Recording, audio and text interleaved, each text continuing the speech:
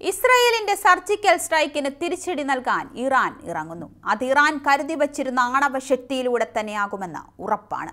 Iran ഇതുവരെ തങ്ങളുടെ ശക്തിയുടെ ഒരു ശതമാനം പോലും പുറത്തെടുത്തിട്ടില്ല എന്നുള്ളതാണ് സത്യം. അങ്ങനെയാകുമ്പോൾ ഇറാന്റെ അടി ഇസ്രയേൽ താങ്ങുമോ എന്നാണ് ലോകം ഉറ്റുനോക്കുന്നത്.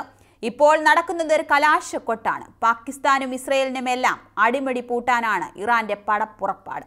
വിശദമായി നോക്കാം ഇറാന്റെ പടപ്പുറപ്പാട് എന്താണ് എന്നൊക്കെ ആണവശക്തിയിലേക്ക് അതിവേഗം കുതിക്കുകയാണ് ഇറാൻ. അപകടം മണത്ത് ടെഹ്റാനിൽ ചാരന്മാരെ ഇറക്കിയിരിക്കുകയാണ് മൊസാദ്. ഇറാന്റെ പല ഭാഗത്തായി മൊസാദ് ടീം ഇറങ്ങിയിട്ടുണ്ട് എന്നാണ് റിപ്പോർട്ടുകൾ. ലോകത്തിന് മുന്നിൽ നിന്ന് ഇറാൻ ഒളിപ്പിക്കുന്ന ആണവ കേന്ദ്രങ്ങൾ കണ്ടെത്തി തകർക്കാനാണ് ഇസ്രയേലി ചാരന്മാർ ഇറങ്ങിയിരിക്കുന്നത്. ഇസ്രയേലിന്റെ ഈ നീക്കത്തിന് അമേരിക്കയുടെ പൂർണ പിന്തുണയുമുണ്ട്. അപ്പോൾ പിന്നെ ഇറാന്റെ അഞ്ച് സൈനികരെ കൊലപ്പെടുത്തിയ ഇസ്രയേൽ ചക്രശ്വാസം വലിക്കും. ഭൂമിക്കടിയിലാണ് ഇറാന്റെ ആണവ പരീക്ഷണ കേന്ദ്രങ്ങളും. അതുകൊണ്ട് തന്നെ അത് തകർക്കുക എന്നത് അത്ര എളുപ്പമുള്ള കാര്യവുമല്ല.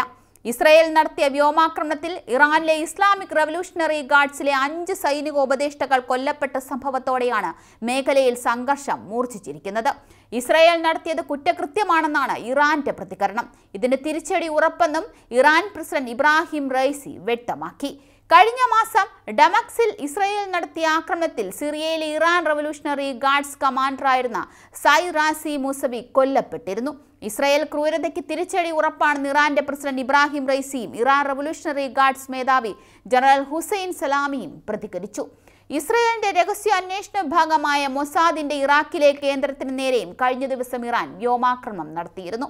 ഇറാഖിൽ അൽ അസദ് വ്യോമതാവളത്തിനു നേർക്ക് ഇറാഖിലെ ഇസ്ലാമിക് റെസിസ്റ്റൻസ് വിഭാഗം നടത്തിയ ആക്രമണത്തിലും രണ്ട് അമേരിക്കൻ സൈനികർക്കും പരിക്കേറ്റിരുന്നു.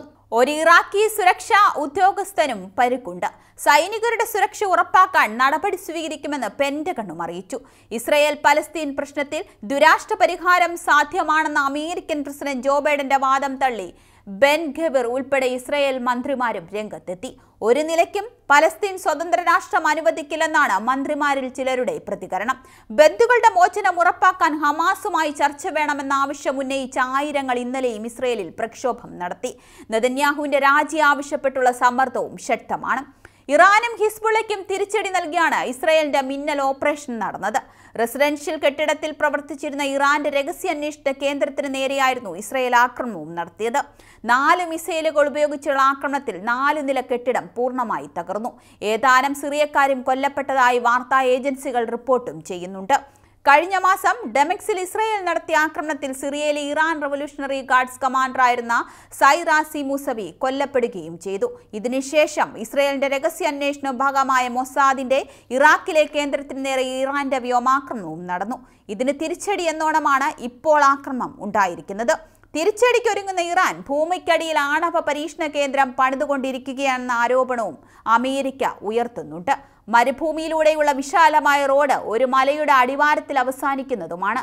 ജനവാസ കേന്ദ്രമല്ലാത്ത പ്രദേശത്ത് സൈനികമായ നീക്കമാണ് നടക്കുന്നത് എന്നും വിലയിരുത്തുന്നുണ്ട്. ഇസ്രയേലും അമേരിക്കയും മാത്രമല്ല ലോകരാജ്യങ്ങൾ ഇപ്പോൾ ചർച്ചയാക്കുന്നത് ഇറാന്റെ ആണവ പരീക്ഷണങ്ങളെക്കുറിച്ചാണ്. ആണവ രാഷ്ട്രങ്ങളുടെ മേൽ അപ്രതീക്ഷിതാക്രമണം നടത്തിയ ഇറാന്റെ ആണവ മോഹങ്ങളെപ്പറ്റിയും ചർച്ചകൾ ഉയർന്നിട്ടുണ്ട്. നിലവിൽ ആണവ രാഷ്ട്രമല്ലെങ്കിലും സജീവമായ ആണവ സമ്പുഷ്ടീകരണ പദ്ധതിയും ഇറാനുണ്ട്.